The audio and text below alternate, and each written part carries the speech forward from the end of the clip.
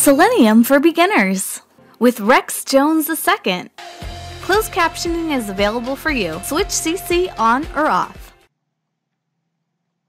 Next is explicit wait.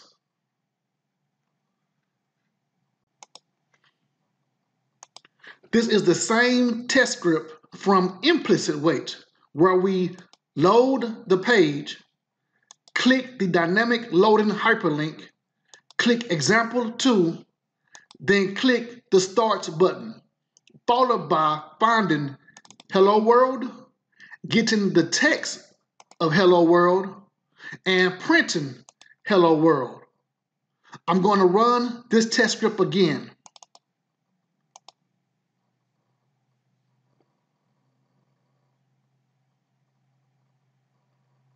It's going to fail because of this dynamic hello world element.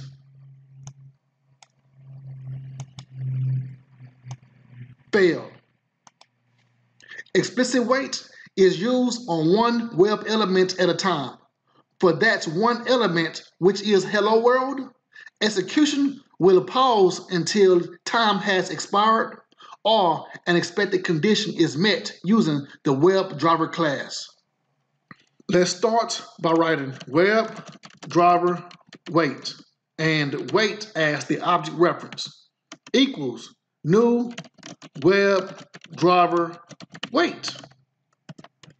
Pass in driver and timeout in seconds as 5 for the parameters.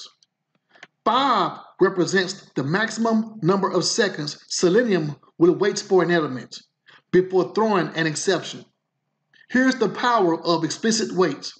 After clicking the start button, we write wait dot until expected conditions with an S dot. So far, we are going to wait until an expected condition is met. There's many of expected conditions. Our goal is to check if hello world is present. We can select visibility of elements located, which is an expectation for checking that an element is present. Locator will be by XPath. Go back to the application, inspect Hello World, copy XPath. Paste XPath. Let's run.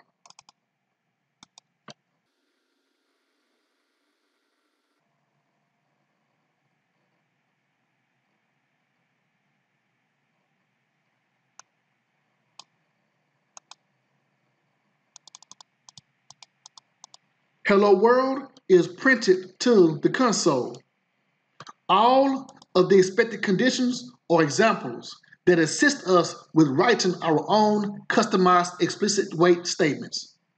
Let's break down explicit wait. With the first line, we have the WebDriver wait class, which has a constructor of WebDriver wait and two parameters, driver and 5. Let's view Java docs for the WebDriver wait class. It has three constructors, one, two, and three. We use the second constructor, which ignore instances of not found exception. Not found exception is an exception that is thrown when an element is not found we see both parameters, driver and timeout in seconds. Driver is the web driver instance, while the timeout in seconds is the timeout in seconds when an expectation is called. The next line is wait until expected conditions. Wait is the object reference of the WebDriver wait class. Until is a method that repeats until one of the following occurs. Number one, the function returns neither null nor false. Number two, the function throws an unignored exception. Number three, the timeout expires. Number four, the current thread is interrupted. Since hello world was returned, number one applies to our test script because hello world is not null nor false. Expected conditions is a class that has so many methods.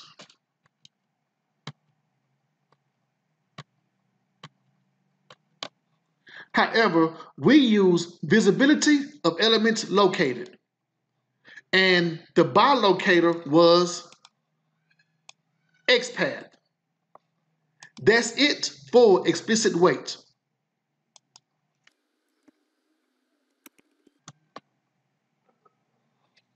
Online courses coming soon.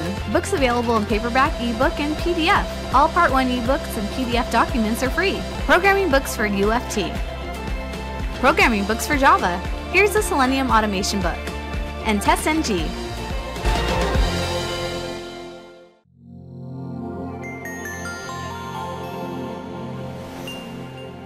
Don't forget to like, comment, and share.